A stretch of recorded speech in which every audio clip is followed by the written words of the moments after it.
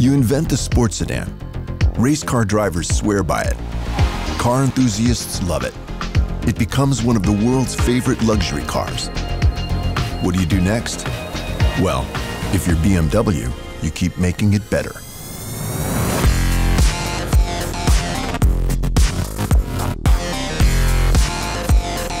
The new BMW 3 Series. Discover driving pleasure.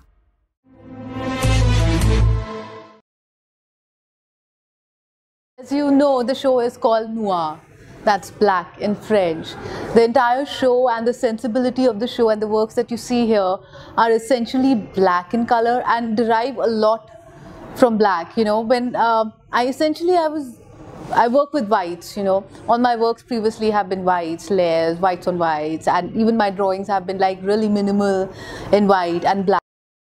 For this particular show, you know, I did a lot of research and did a lot of reading about I don't know, black just stuck with me and I, I read about black. So apparently black as a color means it is also the end and also a beginning.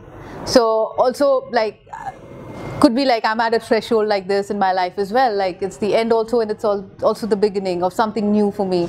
So that's the reason why I selected black for this particular show. All the works uh, have been made in, in, in, in, keeping in mind, you know, like bold, the way the color how it also hides away all everything you know be it your happiness your sorrows your your mistakes everything. Black black has that meaning to me. So that is why i selected uh, this particular color and the theme of the show to be black. What you see here there are about uh, 35 35 odd artworks over here and it's it's a selection of not only drawings there are uh, sculptural works which I would which I call them pop-ups. Like that's the Delhi uh, grid broken unbroken folded